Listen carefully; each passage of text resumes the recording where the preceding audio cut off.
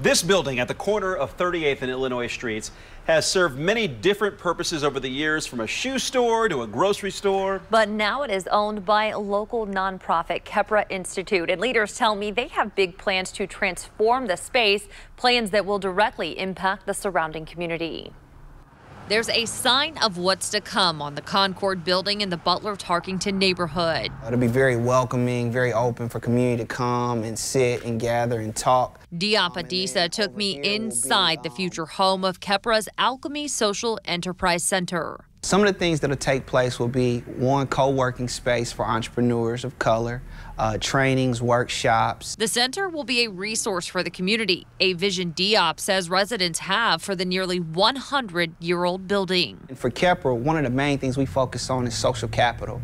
We believe that relationships are the greatest resource that entrepreneurs, that a community has. So we want to provide a space to allow community to come together to build relationships, genuine relationships around depth and connection. Educating people about entrepreneurship is a critical service for Kheprw. Over the last five years, the organization formalized curriculum and created the Alchemy Incubator Program. The Alchemy program is not like a typical entrepreneurial incubator or accelerator. It's definitely a big opportunity for people to learn about community wealth building and how you can solve your own community's problems. Casman Ramos started her business Seeking 1610 with help from the Alchemy program last fall.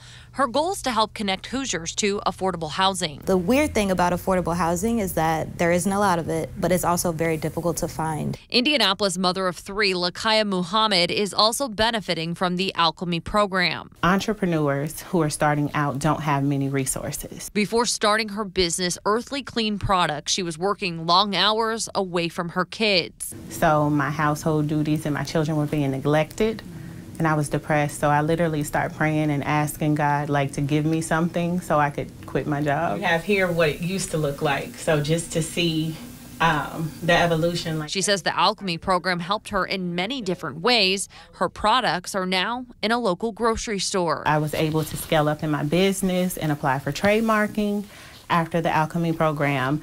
I met an amazing business coach. She helped me to market better and create better content. Not only is this beneficial for entrepreneurs of color, but I think there's a lot of people who are in the workforce, whether they're entering the workforce or leaving the workforce, that are looking for a different experience about what does it mean to be a part of something. And soon the community will have a chance to be a part of something.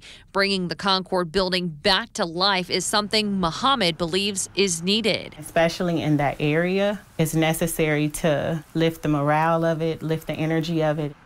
The goal is to have the building renovated and open next year. And you meant, you heard me mention how those businesses they're working to solve issues in the community, like with affordable housing. So that's a big goal. I feel like this is a win-win-win situation mm -hmm. for the building itself, uh, for those businesses, and people that get to network with each other as well. Yes, and they said that the community members wanted a resource, and they're going to get a resource. So it's good to see. Great yes, story there too.